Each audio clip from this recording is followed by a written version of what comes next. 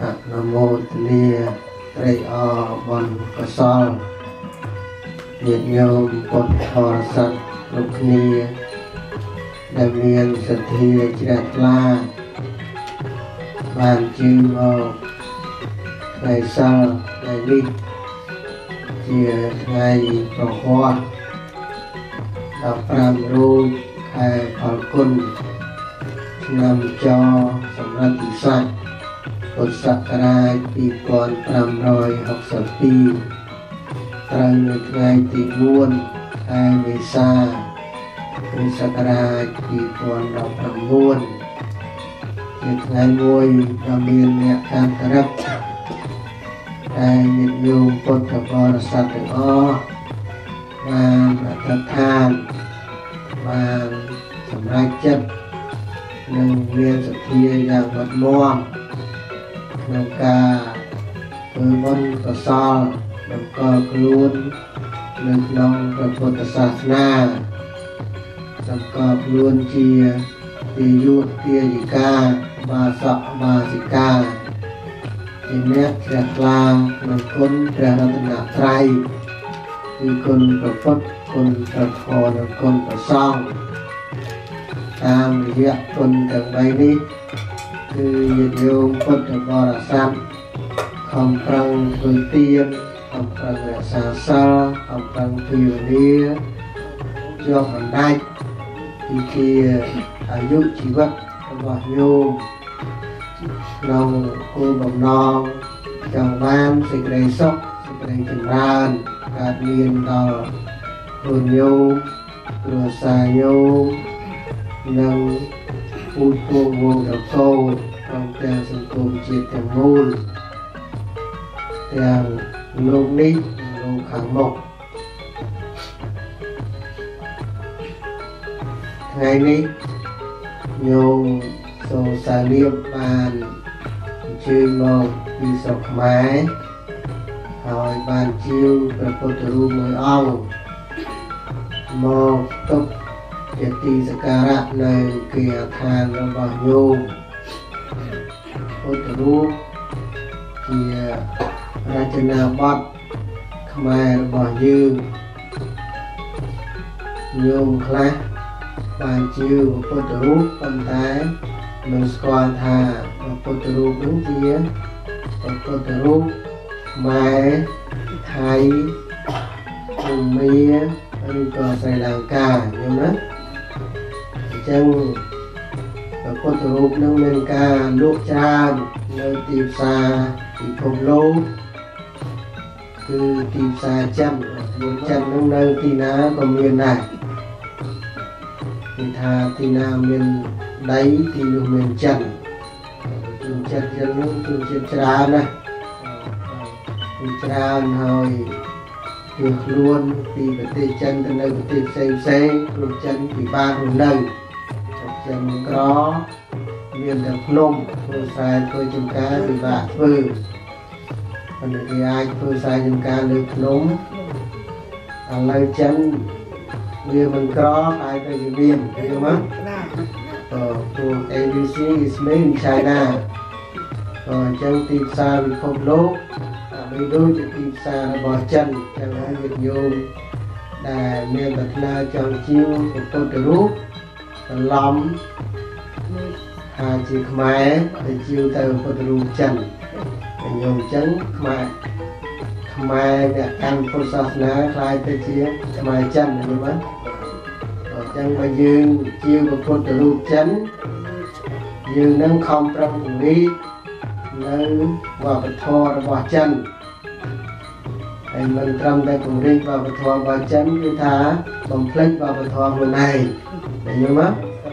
បំភ្លេចសិល្បៈខ្លួនឯងវប្បធម៌ខ្លួនឯងតម្លៃខ្លួនឯងហើយទៅលើកតម្កើងជួនជាតិគេហើយទៅជួនជាតិគេឲ្យតម្លៃយើងមិនអីទេបើគេមិនឲ្យតម្លៃយើងគេឲ្យតម្លៃគេហើយមិនបានសុខទៀតឃើញទេអញ្ចឹងបើយើងឲ្យតម្លៃគេគេឲ្យតម្លៃយើងមិនបានសុខឃើញទេ ដូចជាស្វាមីឲ្យតម្លៃភរិយាព្រះរាជាឲ្យតម្លៃស្វាមីឲ្យតម្លៃគ្នាទៅវិញទៅមកគឺមានតម្លៃរួមនៅសុខដុមរមនានៅក្នុងក្រុមគ្រួសារហ្នឹងអានោះក៏មិនឲ្យតម្លៃគ្នាឆ្លោះគ្នាមុខយ៉ាក់ដាក់គ្នារាល់ថ្ងៃអញ្ចឹងមកអូនៅអញ្ចឹងហើយអាត្មាលើកឡើងហ្នឹងដើម្បីពញ្ញាស្មារតីញាតិញោមពុទ្ធបរិស័ទឲ្យជ្រាប ប៉ុន្មានហើយទ្រឹស្ដីពុទ្ធសាសនា គឺយើងបូជាចំពោះព្រះពុទ្ធព្រះរូបចំពោះព្រះសង្ឃចំពោះព្រះធម៌នៅគ្រប់ទីកន្លែងឃើញទេមកអឺដូចជាវន្តទានជាតយ៉ាងគឺមានន័យថាយើងថ្វាយបង្គំយើងបូជាចំពោះព្រះពុទ្ធ សកលលោកឃើញទេមកចំពោះព្រះសរីរកធាតុជំវិញសកលលោកចំពោះដើមពោនៅគ្រប់ទីកន្លែងនឹងយល់មកក៏នឹងជាទ្រឹស្ដីពុទ្ធសាសនាអត់មានប្រកាន់ជាតិវណ្ណៈអីទេប៉ុន្តែបើសិនជាយើងមិនប្រកាន់គេមិនប្រកាន់អាហ្នឹងវាបានសុខ ដល់ញោមហើយយើងអត់ប្រកាន់គេប្រកាន់យើងមិនសុខទេណាយើងអត់សុខទេគឺថាមួយប្រកាន់ហើយមួយមិនប្រកាន់ក៏នៅតែមិនសុខពួកគេមិនទទួលយកអ្វីដែលយើងជឿយើងគោរពយើងបូជាហើយយើងទទួលយកដូច្នេះយើងមិនបានសុខអញ្ចឹងហើយតលប្រមគ្នាបើយើងប្រកាន់ជាតិយើង គេក៏ប្រកាន់ជាតិគេអញ្ចឹងទៅយើងខំប្រឹងឲ្យតម្លៃជាតិយើងគេក៏ខំប្រឹងឲ្យតម្លៃជាតិគេអញ្ចឹងទៅហើយតម្លៃហ្នឹងពេលណាមនុស្សគ្រប់សញ្ជាតិនឹងឲ្យគ្នាទៅវិញទៅមកឲ្យមានសុខសន្តិភាពពិតប្រាកដទេយោដល់អញ្ចឹងហើយយើងជាខ្មែរជាអ្នកកាន់ពុទ្ធសាសនាទោះបីយ៉ាងណាក៏ដោយគឺត្រូវប្រកាន់ជាតិរបស់ខ្លួនឯងប្រ ទេសរបស់ខ្លួនឯងសិល្បៈរបស់ខ្លួនឯងតម្លៃរបស់ខ្លួនឯងទើបគេឲ្យតម្លៃដែរញោមណាបាទបើយើងមិនឲ្យតម្លៃខ្លួនយើងឲ្យគេឲ្យតម្លៃមិនឃើញទេមកយើងត្រូវឲ្យតម្លៃខ្លួនយើងចឹងហើយញោមដែលជាអ្នកជាងបុគ្គលទៅរូបត្រូវឲ្យតម្លៃទៅខ្មែរឲ្យតម្លៃទៅខ្មែរជាពុទ្ធរូបខ្មែរបានបច្ច័យទៅខ្មែរមែនញោមមក ហើយពេលណាខ្មែរមានបច្ច័យខ្មែរមានជីវភាពទូធាខ្មែរនឹងវាសុខចម្រើនណាខ្មែរនឹងមិនក្រខ្មែរនឹងធូរធារបើសិនជាជួនជាតិដតីមើងងាយក៏ពិបាកនឹងមើងងាយដែរញ៉ឹងមកបាទពីព្រោះយើងមានតម្លៃខាងសិល្បៈយើងមានតម្លៃខាងសម្ភារៈយើងមានតម្លៃនៅក្នុងជីវិតរបស់យើងចឹងហើយយើងត្រូវតែរក្សាតម្លៃរបស់យើង ឲ្យតម្លៃខ្លួនយើងឲ្យតម្លៃជាតិយើងជាតិយើងនឹងឲ្យតម្លៃមកយើងវិញឃើញទេហើយជាតិគេនឹងក៏ឲ្យតម្លៃទៅតាមនឹងដែរអញ្ចឹងយើងសួរថាជាប្រពៃណីជាទំនៀមទម្លាប់បានជាពុទ្ធរូបមកហើយអ្នកឆ្លាក់អ្នកគូរូបបានគូ រូបដែលយើងស្គាល់គ្រប់គ្នាថានឹងជាពុទ្ធរូបជឿរួចហើយមានពុទ្ធរូបរួចហើយយើងត្រូវធ្វើពិធីអភិសេកទៀតបើញាតិញោមមិនបានធ្វើពុទ្ធាពិសេសយ៉ាងម៉េចដែរញោមញោមណាយល់ ណាំតន់ដូចច្បាស់ទៅយ៉ាងម៉េចទៅដូចជាមិនឆ្លងដៃផុតពីពីធ្វើឲ្យរៀបអង្គទៅហើយញោមណាដឹងខុសពីញោមពេញលក្ខណៈជាពុទ្ធរូបពេញលក្ខណៈជាពុទ្ធរូបហ្នឹងណាបើញោមខឿមបាទញោមខឿមគាត់មានប្រសាសន៍ថាបើមិនបានធ្វើពិធីពុទ្ធិពិស័យព្រះពុទ្ធរូបនឹងមិនឆ្លងពីដៃជាងចម្លាក់ ជាងគូរូបណាញោមណាអញ្ចឹងព្រះពុទ្ធរូបនឹងនៅតែក្នុងដៃជាងមិនបានផុតពីដៃជាងមិនបានផុតពីកន្លែងដែលជាធ្វើហ្នឹងគាត់យល់ថាអញ្ចឹងអឺហើយញោមអាចារ្យមានប្រសាសន៍ថាបើមិនបានធ្វើពិធីពុទ្ធាពិសេសមិនពេញលក្ខណៈ ពុទ្ធបដិមាហ្នឹងពុទ្ធរូបហ្នឹងមិនពេញលក្ខណៈហើយមិនពេញលក្ខណៈអីមិនពេញលក្ខណៈជាពុទ្ធហើយកាលណាបើមិនពេញលក្ខណៈជាពុទ្ធយើងមិនគួរនឹងថ្វាយបង្គំមិនគួរនឹងបូជាអញ្ចឹងញោមចាឥឡូវយើងសួរថាពិធីពុទ្ធាពិសេសហ្នឹងជាពិធីអឺប្រពុតណាបង្កើតឬក៏នរណាបង្កើតអត់ដឹងទេញោមហ៎ ព្រះពុទ្ធឲ្យយើងជឿព្រះធម៌ហើយញោមអ្នកណាឃើញព្រះធម៌អ្នកនឹងឃើញព្រះពុទ្ធអ្នកណាចេះព្រះធម៌យល់ព្រះធម៌ប្រតិបត្តិតាមព្រះធម៌អ្នកនឹងឃើញព្រះពុទ្ធជឿព្រះពុទ្ធទេញោម អញ្ចឹងអត់ពីព្រះសម្មាសម្ពុទ្ធទៅក្រោយពីព្រះអង្គបរិនិព្វានទៅ តាមមានស្អីជំនួសព្រះពុទ្ធមានព្រះធម៌អញ្ចឹងមកមានព្រះធម៌អញ្ចឹងព្រះធម៌នៅណាញោមអឺឬយើងរត់ចិត្តក្នុងចិត្តព្រះធម៌មិនមែននៅក្នុងគម្ពីរបត្រៃពិដកទេចិត្តនៅក្នុងចិត្តព្រះធម៌ នៅក្នុងចិត្តរបស់ញោមហើយហេតុអីបានឲ្យញោមថានៅក្នុងចិត្តមិនគុំនៅក្នុងកាយផងចិត្តយើងរលឹកនឹកមិនគុំនៅក្នុងវិចារផងនៅក្នុងចិត្តទេចាស់ព្រោះចិត្តចិនឹងនចិត្តតាមក្នុងកាកាយយយ៉ាងណាពីព្រោះរូបយើងហ្នឹងមានចិត្តមានវិចារមានកាយហើយស្អីធំជាងគេចិត្តជាចិត្តចិត្តចិត្តធំជាងគេចិត្តនឹងមិនទៅ អញ្ចឹងបើធម៌នៅក្នុងចិត្តហើយធម៌ហ្នឹងក៏នៅក្នុងកាយដែរធម៌ហ្នឹងក៏នៅក្នុងវិចារដែរតែបើធម៌មិននៅក្នុងចិត្តអត់មាននៅក្នុងអត់ទាំងអស់ហ្នឹងខ្លួនយើងទាំងអស់ហ្នឹងឯងឃើញទេអញ្ចឹងបើតាមទ្រឹស្ដីនៃព្រះពុទ្ធគឺថាយើងជាព្រះពុទ្ធរូបមកថ្វាយបង្គំមកបូជា មិនប្រកាសថាព្រះពុទ្ធរូបនឹងជាព្រះពុទ្ធពិតប្រកបទេណាញោមណាពីព្រោះកាលណាបើធម៌មិននៅក្នុងចិត្តរបស់ញោមញោមអត់ឃើញព្រះទេណាញោមណាណាញោមអត់ឃើញរូបនឹងទេថាជាព្រះពុទ្ធទេអញ្ចឹងអញ្ចឹងធម៌ហ្នឹងជាតំណាងនៃព្រះសម្មាសម្ពុទ្ធមិនមែនរូបបដិមាហ្នឹងជាតំណាងពិតប្រកបរបស់ព្រះសម្មាសម្ពុទ្ធទេអញ្ចឹងញោមបាទ បាទប៉ុន្តែអ្នកប្រាជ្ញញោមណាអ្នកប្រាជ្ញហើយនឹងពុទ្ធប្រវត្តិបាននិយាយថាពុទ្ធនឹងមានលក្ខណៈយ៉ាងម៉េចខ្លះឃើញទេមានលក្ខណៈយ៉ាងម៉េចខ្លះហើយអ្នកប្រាជ្ញនឹងលោកចង់ឲ្យអ្នកដតីដតីនឹងមើលឃើញណែរូបនេះរូបពុទ្ធឃើញទេរូបនេះរូបពុទ្ធចឹង អញ្ចឹងខំឆ្លាក់ខំគូធ្វើយ៉ាងណាឲ្យដូចនៅក្នុងពុទ្ធប្រវត្តិតើព្រះសម្មាសម្ពុទ្ធនឹងមានលក្ខណៈយ៉ាងណាខ្លះ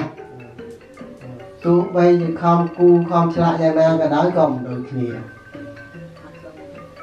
ខ្មែរឆ្លាក់ផ្សេងគូផ្សេងយួនចិនផ្សេងឆ្លាក់ផ្សេងគូផ្សេងណា ថៃផ្សេងហ្នឹងភូមាស្រីលង្កាឆ្លាក់ផ្សេងគូផ្សេងអត់អត់ដូចគ្នាប៉ុន្តែមិនមែនខុសគ្នាទាំងអស់វាត្រូវគ្នាខ្លះដែរឃើញទេមកអឺដូចជាកាយវិការរបស់ព្រះសម្មាសម្ពុទ្ធទ្រង់ពេនភ្នែនទ្រង់ដាក់ប្រហ័សទ្រង់សមាធិហ្នឹងគឺថាដូចគ្នាទាំងអស់ណាញោមណាអឺដូចគ្នាទាំងអស់ប៉ុន្តែប្រភពខុសគ្នា ជារបៀបចិនជារបៀបភូមាជារបៀបស្រីលង្កាជារបៀបឥណ្ឌាជារបៀបខ្មែរអញ្ចឹងទៅណាយល់មកអឺអញ្ចឹងយើងត្រូវដឹងរបៀបដូចគ្នានឹងរបៀបមិនដូចគ្នាលក្ខណៈដូចគ្នានិងលក្ខណៈមិនដូចគ្នាណាញោមណាយើងដឹងគ្រប់សពយើងអាចប្រៀបធៀបយើងអាចស្គាល់យើងអាចឲ្យតម្លៃជាតិយើង សិល្បៈយើងតែឲ្យតម្លៃទៅជាគេសិល្បៈគេអញ្ចឹងណាញោមណាអញ្ចឹងប្រពុតពុតប្រកាសនៅណានៅក្នុងធម៌នឹងធัวណាញោម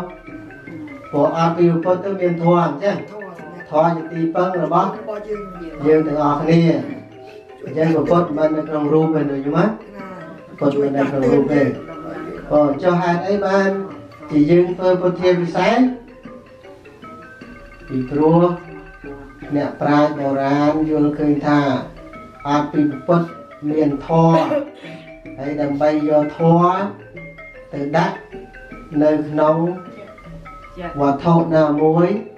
រូបណាមួយត្រូវមានពិធីអភិសេកត្រូវមានពិធីអត្តដ្ឋានទេញោមយើងធ្លាប់អត្តដ្ឋានណាញោមទាំងអស់ធ្លាប់ឮធ្លាប់អឺ ស្ដាប់អំពីការអត្តដ្ឋានអំពីពុទ្ធាវិស័យគឺយើងសូត្រធម៌រំលឹកគុណព្រះពុទ្ធគុណព្រះធម៌គុណព្រះសង្ឃនិតិពេសោស្វៈខាតោសុបដិបាណោនៅគ្នាសូត្រធម៌អឺបារមី10នៃព្រះសម្មាសម្ពុទ្ធដែលទ្រង់បានត្រាស់ហ្នឹងទ្រង់បំពេញហ្នឹងហើយសូត្រព្រះហង្ស ឃើញទេមើលណាអឺពុទ្ធជ័យមង្គលដែលព្រះអង្គបានឈ្នះមារនោះហើយយើងជឿថាយើងអត្តដ្ឋានតាធម៌ទាំងអស់ហ្នឹងណានឹងចូលទៅសន្ធិដ្ឋនៅក្នុងរូបហ្នឹងដែលញោមណារូបព្រះហ្នឹងណារូបដែលជាងឆ្លាក់ជាព្រះជាងគូរូបជាព្រះហ្នឹងយើងជឿយើងអត្តដ្ឋានទាំងអស់គ្នាថាធម៌ទាំងអស់ហ្នឹងណាដែលជាតំណាងរបស់ព្រះពុទ្ធហ្នឹង នឹងសន្ធិដ្ឋនៅក្នុងរូបហើយយើងនឹងគោរពធម៌ហ្នឹងឃើញធម៌ហ្នឹងដូចជាព្រះទ្រង់ធរមាននៅអញ្ចឹងញោមទ្រង់ធរមាននៅអញ្ចឹងឯងអញ្ចឹងរូបកាលពីមុនជាងឆ្លាក់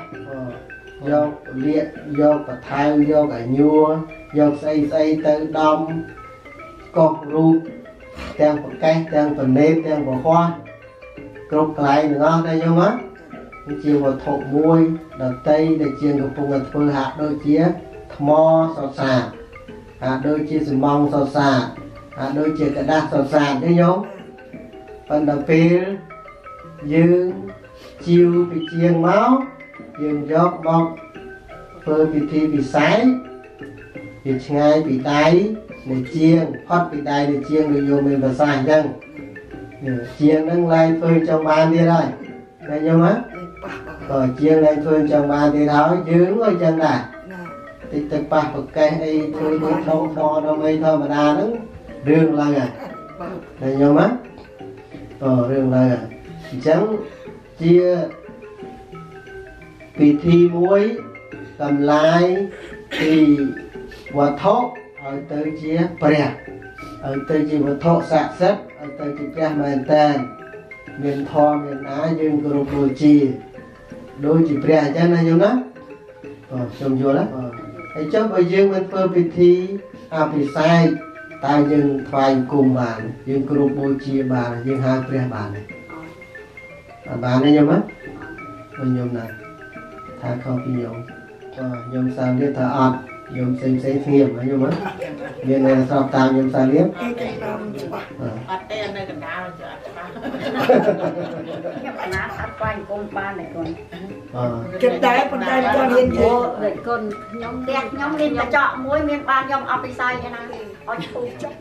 ខ្ញុំទៅទៅធសរងពីដខាងងឯឯងងខ្ញុំខ្ញុំបាបាត់ត់ថាថាមើមើលលកញ្ចក់ពូពូអអស់ស់ពូអស់កញ្ចក់អីទេបាញ់ព្រះតែរត់មកថានិយាយចឹងអឺញោមជឿញោមស្ដាប់គេញោមពិចារណាខ្លួនឯងយើងស្ដាប់គេយើងកុំអាចជឿព្រោះធម៌ព្រះនោះថាសូម្បីតែព្រះកុំអាចជឿព្រះស្ដាប់ហើយពិចារណាខ្លួនឯងរកហេតុរកផលជាក់ស្ដែង យកទៅប្រតិបត្តិបើបានសុខពិតប្រាកដចាំជឿណាញោមណាកុំបានសុខគាត់ប្រកាសឲ្យកុំជឿចឹងណាញោមណាត់ត្រូវចឹងមាត់អ្នកដតីមិនបានបែបប្រអប់ព្រះទេចឹងកុំអាចជឿមាត់អ្នកដតីប៉ុន្តែក៏ជាការរៀនសូត្រដែរឃើញទេមកបើយើងឃើញរូបព្រះនៅទីណារូបអីក៏ដោយរូបបដិមារូបគំនូអានេះយើងស្គាល់អូរូបនឹងរូបព្រះ ហើយយើងថ្វាយបង្គំទៅអត់មានបាបទេឃើញទេមកណាអត់មានបាបទេមានន័យថារូបឲ្យតែចិត្តយើងដល់ថារូបនឹងជាព្រះហើយយើងថ្វាយគុំយើងបូជាទៅបាទបាទដូចគ្នាយើងចិត្តយើងវាដល់ព្រះបាត់ទៅហើយតែញោមចិត្តយើងនៅឯព្រះឯណោះនៅឯធម៌ឯណោះមិននៅក្នុងរូបនឹងទេនៅលើចិត្តមិននៅត្រឹមរូបនឹងទេណាញោមណា អញ្ចឹងបើចិត្តយើងដល់ហើយមានន័យថាម៉េចបាទមានន័យថាស្អីស្អីក៏ដល់ដែរព្រះកណាណាញោមណាបើចិត្តទៅហើយស្អីស្អីក៏ទៅដែរណាបងងឹមហើយបើចិត្តមិនទៅទេអត់ស្អីក៏មិនទៅទេញោមណាបាទបងងឹមវិញលោកទេចឹងនេះអញ្ចឹងធ្វើម៉េចឲ្យតែចិត្តយើងទៅហើយចិត្តយើងទៅមិនមែនអ្នកអតីបង្ខំទេណាអត់ទេទឹកខ្លួនយើងទៅដល់ខ្លួនយើងណាយើងជឿថាព្រះ យើងស្វែងគុំយើងគោរពបូជាទៅព្រះហើយព្រោះព្រះនៅណានៅចិត្តចាហ្នឹងហើយព្រះនៅចិត្តខ្ញុំកុំភ្លេចព្រះនៅចិត្តដូចចំណាយខ្ញុំណាកាត់តិចគាត់បាទដូចខ្ញុំកណាចង់ទៅលាអញ្ចឹងតែអត់បានទៅចិត្តបង្អោទៅក៏ដល់ដែរបាទព្រោះចិត្តនឹងលឿនណាណាចិត្តនឹងធំណាបាទអញ្ចឹងដូចយើងអានបត្រៃបេដកអញ្ចឹងយើងមិនឃើញក្តាស់ហ្នឹងទេឃើញព្រះហ្នឹងព្រះតើតែយោអញ្ចឹងបើចិត្តយើងដល់ព្រះមិននៅនឹងទេណានៅព្រះនោះព្រះអឺនឹងអញ្ចឹងណាអញ្ចឹងយើងត្រូវតាមដានចិត្តយើងអញ្ចឹងណាយោមកអាហ្នឹងគឺជាសច្ចៈសច្ចៈភាពនៅក្នុងចិត្តរបស់យើងហ្នឹងនៅក្នុងជីវិតរបស់យើងហើយចិត្តហ្នឹងមិនត្រឹមតែលឿនប៉ុណ្ណឹងទេគឺចិត្តនឹងធំទៀតធំមកទោះបីជាព្រះហ្នឹងមកប៉ុណ្ណាក៏នៅក្នុងចិត្តហ្នឹងដែរបងមិនចង់ឲ្យអត់ទៅទេព្រះមកប៉ុណ្ណា ពីសាងព្រះមកប៉ុណ្ណាក៏ដាក់នៅក្នុងចិត្តយើងចូលដែរតែយកមកចិត្តយើងឃើញទាំងអស់ហើយស្អីក៏ដោយនៅក្នុងចិត្តហ្នឹងទៅមកធំយើងចឹចិត្តងយំឲ្យទៅនឹកដល់គឺដល់នឹកដល់អត់ដល់ទៅដល់តែយំមកនឹកដល់បនបនកើតមាននឹកដល់បាបបាបបាបកើតមានតែយំមកអញ្ចឹងការធ្វើពិធីអភិសេកនេះគឺដើម្បីឲ្យចិត្តយើងវាដល់ ក្រែងចិត្តយើងវាមិនដល់ណាញោមគាត់មានភាសាមិញទេថារូបនឹងនៅក្នុងដៃជាងទោះបីតែទិញមកដល់ជាម្ដងដៃក៏ដោយយើងនៅចឹងណាអារម្មណ៍យើងក៏ជ្រះរូបនៅតែក្នុងដៃជាងឯនោះទោះបីយើងជាវមកដល់អាមេរិកក៏ដោយឃើញនៅនៅនោះនឹកឃើញក្នុងដៃជាឃើញនៅក្នុងដៃជាងយើនោះងមិនជ្រះចិត្តនឹងវាមិនដល់ហ្នឹងណា វានៅតែក្នុងហ្នឹងអញ្ចឹងមានធ្វើពិធីមួយឆ្លងអត់នឹងជ្រះហ่ะណាញោមធ្វើពិធីមួយឆ្លងធ្វើពិធីមួយអភិសេកថាលែងនៅក្នុងដៃជាងហើយអស់ចិត្តលែងនៅក្នុងរូងជាងហើយលែងជាដុំថ្មហើយលែងជាវត្ថុធម្មតាហើយគឺជាព្រះពិតប្រកបរបស់យើងឃើញទេអញ្ចឹងបើចិត្តរបស់យើងដល់អញ្ចឹងមានន័យថាម៉េចដល់មានន័យថា លែងសៅបងលែងស្ទាក់ស្ទើរគេណាលែងរវើរវាយគឺថាស្ងាត់ពិតជាព្រះហើយណាក៏ត្រូវមែនយកមកពិតជាព្រះហើយបានធ្វើពិធីលោកក៏សូត្រធម៌យើងក៏សូត្រធម៌ហើយបានធ្វើទានរក្សាត្រលភាវនាផ្សេងផ្សេងផងគឺថាច្បាស់ហើយពិតជាព្រះហើយពេលនោះតែយកមកគេធ្វើឲ្យចិត្តរបស់យើងទៅដល់អត់ទាន់ស្លាណាប់យកបាទហើយយកយល់ណាយកយកពិចារណាតាមទៀតណាយកមក កុំអាចជឿអាត្មាទាំងអស់បើយកពិចារណាមកទៀតទៅត្រូវបងលោកដៃតិចហ្នឹងហើយអញ្ចឹងរឿងហ្នឹងសំខាន់ណាស់ញោមយ៉ាងទី1យើងឲ្យតម្លៃខ្មែរយើងគឺខ្មែរអ្នកឆ្លាក់នៅរូបហ្នឹងរចនាបថខ្មែរពីការពារខ្មែរថែរក្សាខ្មែរខ្មែរហ្នឹងបានសុខបានចម្រើនទី2គឺថាថែរក្សាវប្បធម៌របស់យើងគឺថា យើងគូយើងឆ្លាក់យ៉ាងណាយ៉ាងណាជាវប្បធម៌ដូនតារបស់យើងតពូជពូវងតកូលទោះបីយើងអស់បន់ទៅក៏នៅកូនចៅកូនចៅក៏នៅស្គាល់អូព្រះខ្មែរហ្នឹងហ្នឹងមិនព្រះចិនហ្នឹងតែយើងហ្នឹងឲ្យចិត្តរបស់យើងនៅក្នុងខ្មែរនៅក្នុងតម្លៃខ្មែរលើខ្លួនឯងនឹងឯងក៏ហើយចិត្តរបស់យើងមើលទៅឃើញប្រពុតក៏ប្រកបប្រ ពុទ្ធហ្នឹងគឺថាពុកម្ដាយរបស់អញបានជាមកបានថ្វាយបង្គំបានបូជារាប់ឆ្នាំណាស់មកហើយអញ្ចឹងនៅនៅក្នុងវងតកលនឹងជានិច្ចទេញោមនៅក្នុងជាតិជាខ្មែរជានិច្ចបងអូខ្ញុំសូមបញ្យល់យមប៉ុណ្ណឹងឲ្យច្បាស់រឿងអភិស័យណាញោមណាបើញោមមិនអភិស័យក៏បានដែរតែឲ្យតែចិត្តរបស់ញោមដល់តែបើចិត្តមិនដល់ទេ កុំឲ្យវាស្ទាក់ស្ទើររញ៉េរញ៉ៃសាំញ៉ាំគឺត្រូវតែធ្វើពុទ្ធាពិស័យញោមណាចិត្តយើងអត់ស្រហ្នឹងឡាញ់ហើយធ្វើម៉េចឲ្យចិត្តយើងដល់ព្រោះព្រះនៅក្នុងចិត្តទេញោមច